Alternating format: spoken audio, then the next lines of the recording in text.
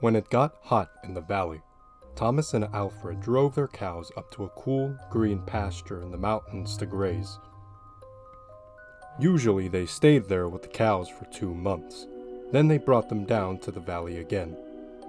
The work was easy enough, but oh, it was boring. All day the two men tended their cows. At night, they went back to the tiny hut where they lived. They ate supper and worked in the garden and went to sleep. It was always the same. Then Thomas had an idea that changed everything. Let's make a doll the size of a man, he said. It would be fun to make, and we could put it in the garden to scare away the birds. It should look like Harold, Alfred said. Harold was a farmer they both hated. They made the doll out of old sacks stuffed with straw. They gave it a pointy nose like Harold's and tiny eyes like his. Then they added dark hair and a twisted frown. Of course, they also gave it Harold's name. Each morning on their way to the pasture, they tied Harold to a pole in the garden to scare away the birds. Each night they brought him inside so that he wouldn't get ruined if it rained. When they were feeling playful, they would talk to him. One of them might say, How are the vegetables growing today, Harold? Then the other, making believe he was Harold, would answer in a crazy voice. Very slowly. They both would laugh, but not Harold. Whenever something went wrong, they took it out on Harold. They would curse at him, even kick him, or punch him. Sometimes one of them would take the food they were eating, which they both were sick of, and smear it on the doll's face. How do you like that stew, Harold? He would ask. Well, you'd better eat it, or else. Then the two men would howl with laughter. One night, after Thomas had wiped Harold's face with food, Harold grunted. Ah, Did you hear that? Alfred asked. It was Harold, Thomas said. I was watching him when it happened. I can't believe it. How could he grunt? Alfred asked. He's just a sack of straw. It's not possible.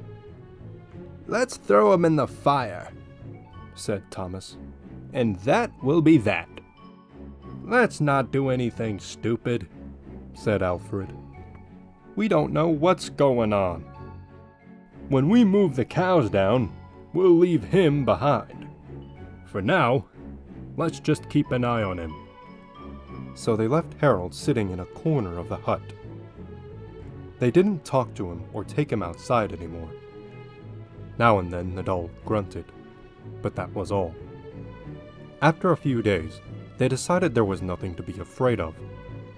Maybe a mouse or some insects had gotten inside Harold and were making those sounds.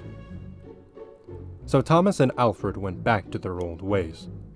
Each morning they put Harold out in the garden, and each night they brought him back into the hut.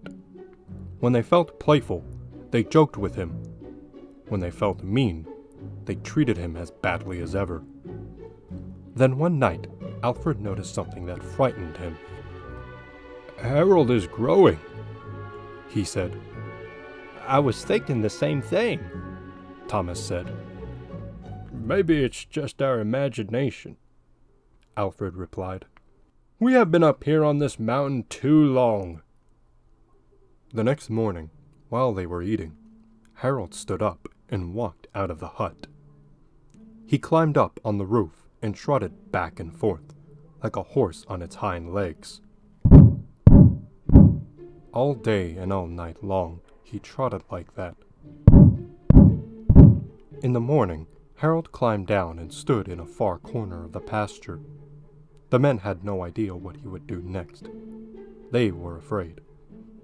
They decided to take the cows down into the valley that same day. When they left, Harold was nowhere in sight. They felt as if they had escaped a great danger and began joking and singing. But when they had gone only a mile or two, They realized they had forgotten to bring the milking stools. Neither one wanted to go back for them, but the stools would cost a lot to replace.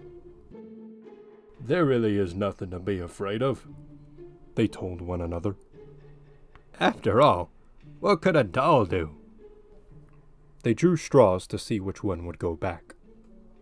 It was Thomas. I'll catch up with you, he said, and Alfred walked on toward the valley.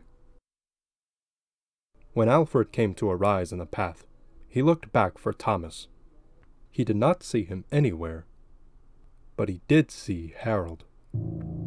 The doll was on the roof of the hut again. As Alfred watched, Harold kneeled and stretched out a bloody skin to dry in the sun.